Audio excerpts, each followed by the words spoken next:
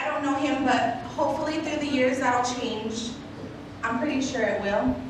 Um, I have an idea of the type of man that he is because I really know how picky Amber is. Or I should say particular, not picky. because- David! Sorry. David, I'm talking to you. I'll be back in just a second. We have something we gotta. I love you. I'm so happy that you. He's leaving, so I'll just continue.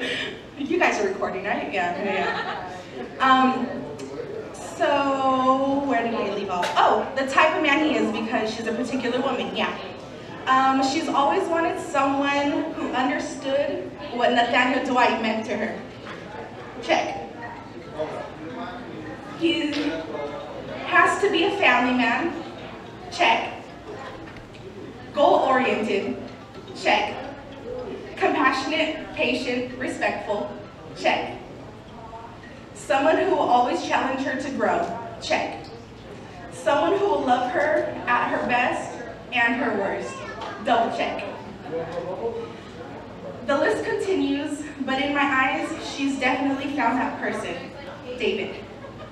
So, thank you. Thank you, David.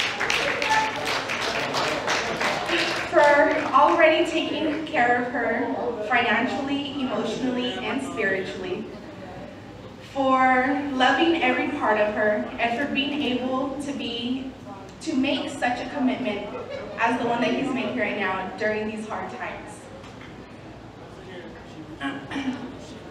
Thank you from my whole heart, not just a piece of it, my whole heart. I pray that God continues providing all that is meant. May you both continue to light each other's paths, never go to sleep angry, always remember to respect one another, and always remember that communication is key. I've been telling you that for a lot of years. um, no matter how much we want our partners to be, they are not mind readers, so communication is a must. David, welcome to the family. Amber, you look absolutely gorgeous. To Mr. and Mrs. Abbott,